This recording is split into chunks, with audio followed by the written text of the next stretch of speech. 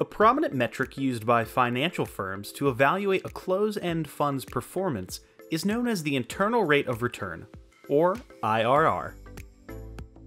IRR represents the discount rate that renders the net present value, or NPV, of a series of cash flows equal to zero. The formula might look a bit mm, scary. But the important thing to note is that IRR captures a fund's time adjusted return, meaning it takes into account the timing and size of cash flows. In this scenario, we see that the timing of cash flows has a significant impact on IRR. This is because IRR is sensitive to large cash flows, particularly when they occur early in a fund's life. While IRR has been the default metric used to calculate fund performance for decades, it does have some limitations.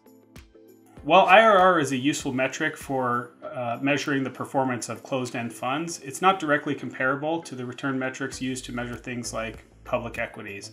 This is due to a couple of factors.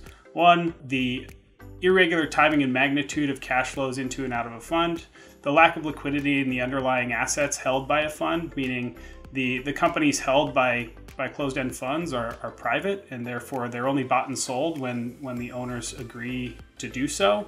And that leads to infrequent pricing uh, and subjective valuations in the interim. And lastly, the IRR calculation assumes reinvestment of return capital at the same rate of return, which is not necessarily the case. But there's another fund performance metric gaining in popularity that can help investors fill in some of the gaps. It's called the Public Market Equivalent, or PME. While there are different methodologies and formulas associated with the PME, the original is known as the Long Nickels PME because it was produced by Austin Long and Craig Nickels in 1996. While the numbers are no less complex, the idea is that by using PME, investors are able to compare private capital fund performance to public indexes via a theoretical investment into the S&P 500, creating a more apples to apples comparison between private market funds and public market performance. At PitchBook, we prefer the Kaplan Schoar or KSPME method, though there are several in use. A couple of the benefits of the KSPME are that they allow the direct comparison to the index of your choice. The calculation is intuitive and easy to do, and it uses the observed cash flows then rather than making any adjustments to the cash flows of the fund. As with all measurements of private fund performance, there are trade-offs with each method.